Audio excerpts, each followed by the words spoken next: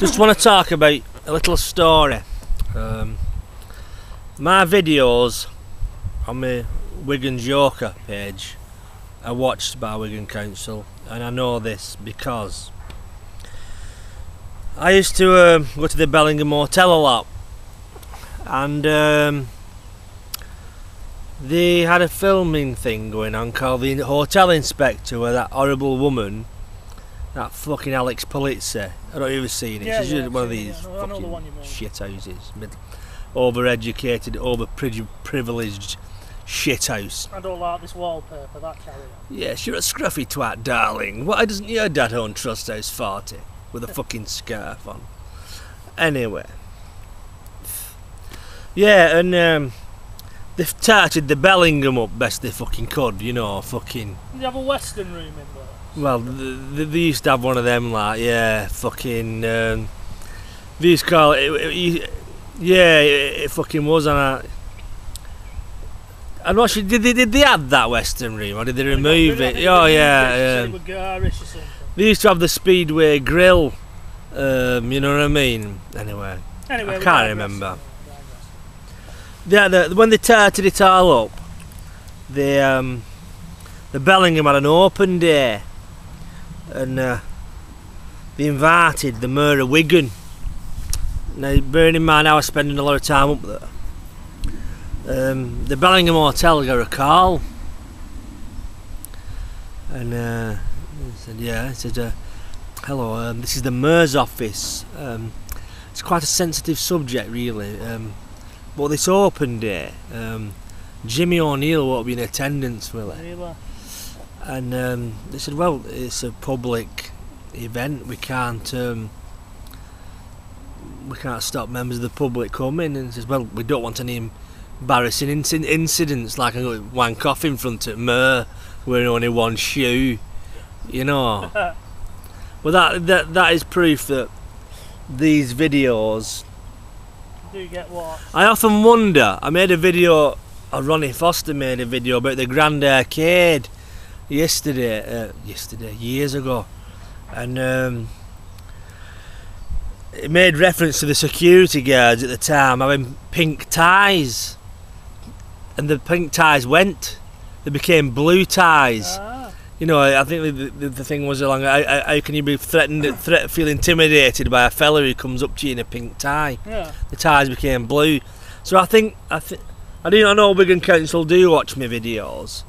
Um, bearing that in mind, uh, have you any messages for Wigan Council? You don't have to like start giving the fingers to the camera and spitting at it, Mr. H. More But respect, mate. I don't know. Generally, have you? Any, No, I've not really got any for them.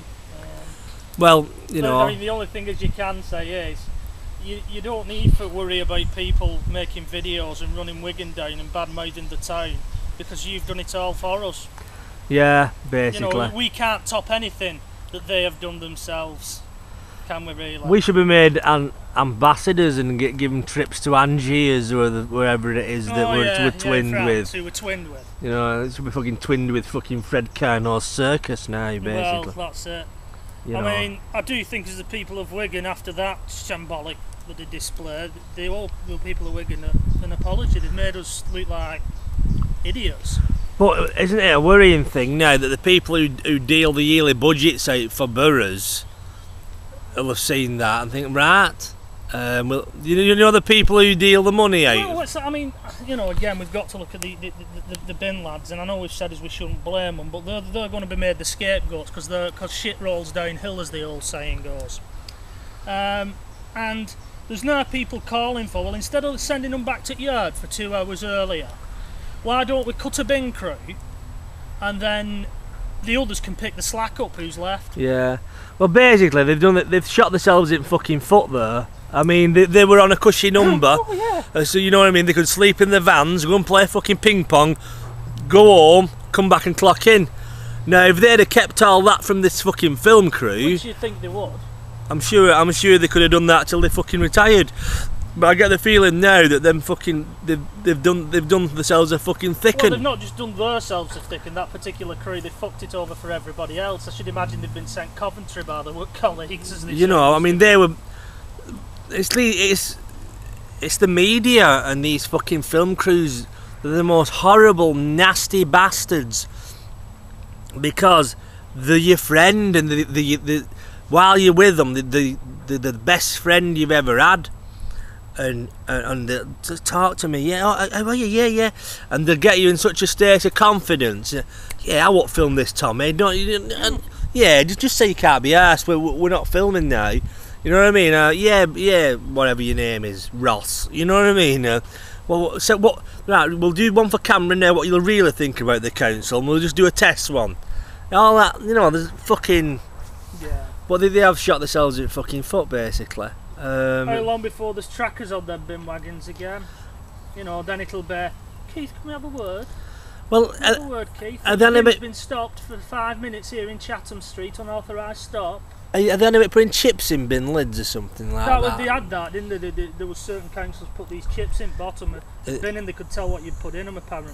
Right, right. The fucking, but it caused a problem because the the outfit sends somebody round snooping in bin for check what was what. Fucking Sue Catterall. Yeah, and there was there was some residents. So obviously, if they've set foot onto your land, private land for mooching your bin, Yeah, you've got that issue if you're trespassing on my land and what you're doing in my fucking bin. yeah, it's it. stir poor. Fucking hell, come to something. Fucking Nora. You know, I mean, I've got one that I'm surprised they've not thought of. Wigan Council, seeing as they're struggling for money.